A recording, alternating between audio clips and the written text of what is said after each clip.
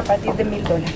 Que yo sepa, no conozco que aquello sea parte del debate para el día de hoy en la comisión. Porque está incluido en el informe para segundo debate. Habría que esperar que se reúna la comisión a ver si lo que usted está diciendo es verdad.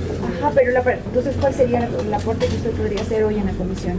No, el Ministerio de Trabajo no presenta ningún aporte eh, en esta comisión. Nosotros estamos en un conversatorio que va identificado a un tema de reestructuración del Estado. Pero creen que como gobierno sería importante una contribución a través de los sueldos para enfrentar eh, este, este, problema de, conflicto, interno? El gobierno no ha hecho ningún planteamiento de esa naturaleza. ¿No ha salido este, este, pedido por parte del gobierno? Ni del señor presidente, ni del Ministerio de Finanzas y tampoco del Ministerio de Trabajo. Ahora, ministra, su posición sobre eh, el proyecto de ley, de hecho, se, se votará la próxima semana. Bueno, es necesario porque frente a una guerra interna como la que atravesamos todos los ecuatorianos, todos, todos estamos inmersos en buscar una salida de manera inmediata y con efectos inmediatos.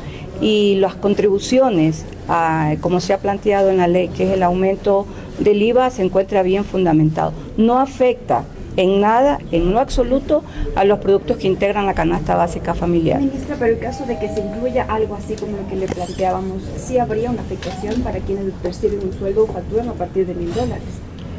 Yo, a mí me gusta como ministra hablar sobre realidades. Cuando aquello exista, primero hay que ver si existe la propuesta.